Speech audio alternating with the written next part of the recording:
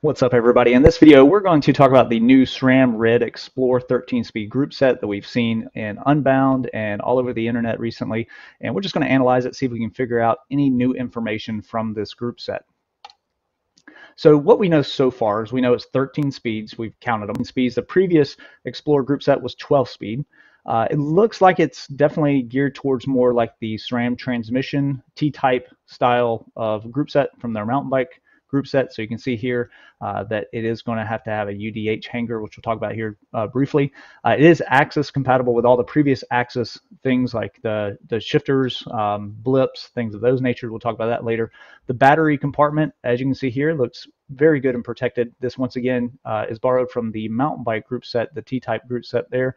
You can see uh, the image down here at the bottom. The battery will go in, slide in this way, and then be clipped in, so it's not hanging off the back and more susceptible to being uh, you know taken off by crashes or anything like that.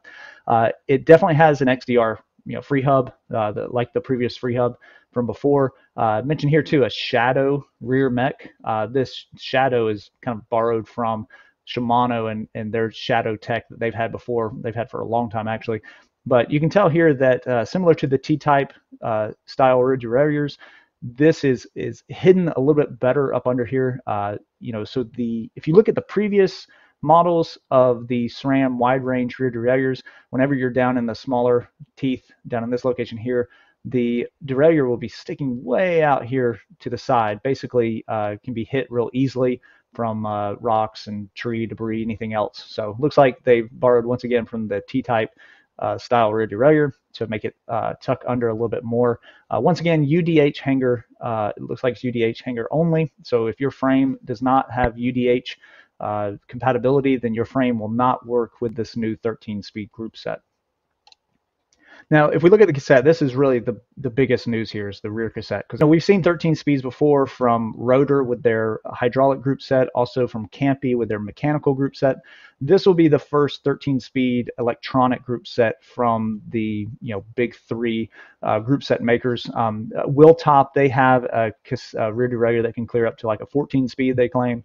Uh, I've done a hack before with a 14-speed cassette using the Archer rear derailleur system, uh, D1X. You can check out that video if you want to. But this is the first kind of mainstream electronic 13 speed group set. And the big thing that we want to see here is what is the what is the gear ratio? Um, that was one of the the things I did not like about the 12 speed Explorer group set.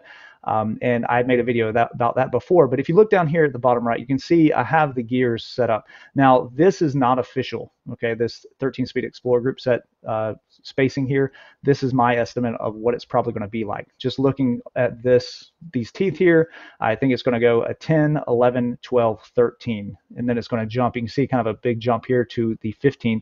That's the same as the 1036 12-speed cassette that they already have uh, which is the wide cassette. It goes 10, 11, 12, 13, then 15. So I believe they're borrowing from that setup there. So what is really good about this is if you're at high speeds, like if you want this group set for road riding, you want some smaller jumps at the higher speeds, this is what's going to help with this. And I actually said it in my previous video, if they come up with a 13 speed system that have closer gear range, I'm going to get it. So I'm probably going to get this group set. uh, the other thing that you can see here that they changed is I believe they've kept everything else the same, and then they've jumped from a 44 tooth. They they they're doing a 46 tooth just to give a little more range. So what they've done is they've made tighter gearing at the high end, and then uh, at the uh, larger cogs, they've gone two teeth larger to help with that climbing. Uh, kind of makes sense because you go from a 32 to a 38. That's a six tooth jump. Uh, before it was another six teeth from 38 to 44. Um, previously on their mountain bike versions, they've done this too, where it's usually six and then they do another two. So, so now we got six jump and then we jump to eight teeth. So we're going from 1046. Um, another thing too, is this the transmission style teeth uh, on there? If you don't, if you don't know what that is, essentially what they did with their um, their T-type cassettes is you can see here they actually made some of the teeth narrow wide okay? The point of this is and i think i got another picture here yeah you can actually see them here. So these are the wide teeth and then you got narrow narrow narrow narrow and it, and it does another wide. The point of this is you can shift under load. Like you could be mashing 800 watts on the pedals and you can still shift under load. It's not going to skip or anything of that nature. Uh, so it is going to be this narrow wide cassette like they have on their mountain bike. I'm very interested to see if it still has the kind of slow shifting uh, that the T-type has. And the reason why it's slow, kind of quotes there, but the reason why it's slow shifting is it has to make sure it's locking into each tooth as it goes through, uh, shifting through the gears. Um, so for example, uh, if you're mashing and if it's just going to shift super fast and you're mashing 800 watts or something of that nature, then it's going to mess up and, and basically break some teeth off. This shifts a little slower, make sure that it locks into the, the next gear so you're not just you know going across all the cassette and breaking teeth. Uh, my opinion on the mountain bike, I don't like the idea of it being slower because on the mountain bike you do have uh, speeds change a lot quicker on the mountain bike. You're coming around a fast turn. Uh, you may come up on some kind of obstacle that you need to to shift to an easier gear. Gravel, in my opinion, this is probably going to be a good thing because uh, then you can just keep pedaling on the on the roads and you can shift under load, not have to worry about uh, soft pedaling or anything of that nature. So I bet it will be a slow shift, you know, compared to just like the T-type, um, you know, derailleurs before. Another thing I want to mention here about this is it appears to not have any kind of B screw adjustment. Uh, if you looked at the T-type as well, they have no B screw adjustments. Um, you you set it up at the beginning uh, with the chain length, and it will take care of itself. That's the goal. I've seen some people have issues with the T-type rear derailleurs. They say though, if you follow the directions that SRAM give you, then you won't have any issues with that. Now let's go to the chain here, and it appears to be the same flat top chain as before. Zoomed in really close here, you can see that it has red written on this chain. It has the you know all the little pieces etched out of there to save as much weight as possible. And also here you can see E1, which that's the uh, the product number for the newest SRAM Red group sets uh, is E1. So it says red here and obviously E1. So it's using the same 12 speed chain as before. Uh, you may be asking like, how can they do that? How can they just add another tooth? Well, if you put up a big, you know, big cog and, and you're if you think about your spokes, your spokes, you know, you're looking at the wheel here, your spokes all go inward. The larger the cog you have, the more you can dish the cog inward toward the spokes. Uh, another thing too about T-type, the mountain bike 12 speed, they were actually able to move the whole cassette and kind of sandwich it outward a few millimeters. So there's room there for another cog.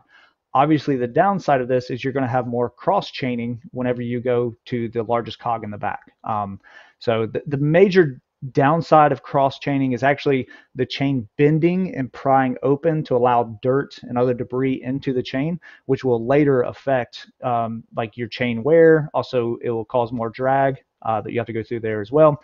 So yes, there's pros and cons to one by systems. We all know that. Uh, but you know, for the simplicity of the system, uh, you know, I prefer one by um, for for gravel and mountain bike. And also, too, another thing I like one by for is frame design. Uh, it allows you to make a frame that's more lively. You don't have to worry about trying to make room for larger tires and also that front derailleur. But that's uh, that's for another video, another time.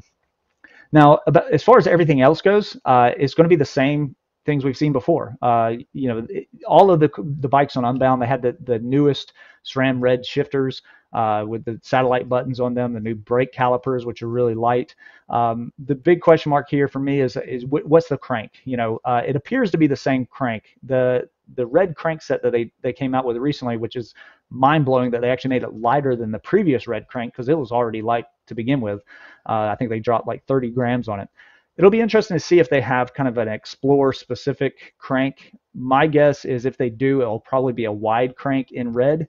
Uh, I don't think they officially have like a wide red crankset. They got wide force, they got wide, um, you know, apex and, and rival, uh, but they don't have an official wide red. Now I've seen them before. I think they've actually spec them on a few pro bikes maybe and uh, some other bikes too. So there are some red wide cranks out there. And if you don't know what a wide crank is, all it is is the spindle is essentially you know five millimeter longer okay? And you can see it, it increases your Q, Q, factor from 145 to 150. Your chain line basically increases two and a half uh, millimeters. So it's not much of a difference in chain line there. The whole point of this, once again, is you make more room for frame design and also more room for tire clearance, okay? That's the whole point of having a wide crank. So it's not as wide as a mountain bike crank, uh, but it is wider than your normal road crank. So uh, what are your thoughts on this new group set? Uh, will you want to go out and get it, or do you think this is just another marketing scheme, throwing more cogs in there to wear out the uh, gears and chains so that way you have to go buy more equipment? Um, let me know in the comments below what you think of this new XPLR group set. Also, be sure to subscribe to the channel. That helps me out tremendously, and we'll see you in the next video.